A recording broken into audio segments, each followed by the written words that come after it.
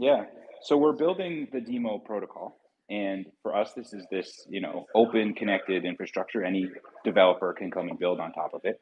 And in order to sort of prove the viability of this protocol, we've also started to build the first application on it. You know, it's great to have a blockchain like Ethereum with smart contracts that can theoretically support applications, but you got to prove that those applications work. So the DIMO mobile app is that first application. Um, we look at it as just kind of the, the best friendly companion for your car. Um, there will be other applications that are more focused for sports cars and performance vehicles, or maybe applications focused for families that you know need to share their cars in a safer way. Um, but for us, the app serves a few purposes. One, it's a Fitbit for your car. You collect a little bit of data, whether it's from one of the hardware devices or an API or both. You collect some data about your car so you can keep track of its health and your trips.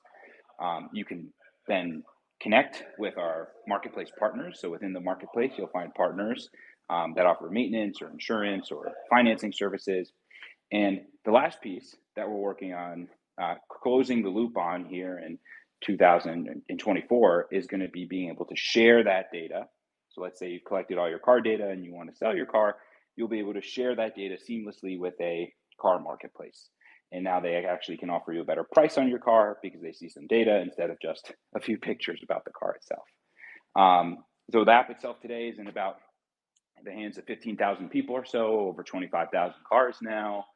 Um, you mentioned the hardware. We've taken a very similar approach to Helium, where we have an open hardware standard.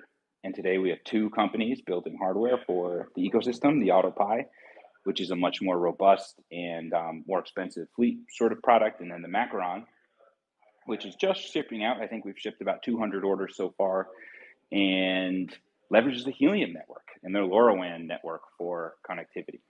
Um, so that's the quick overview on the DIMO mobile app. The part I've left out, of course, is that you do earn rewards. You do earn DIMO tokens today for getting connected in the app and then using marketplace services. And our goal is that any auto company in the world, whether it's an insurance company, an OEM, or somebody like that, can plug into the DIMO ecosystem and the DIMO rewards.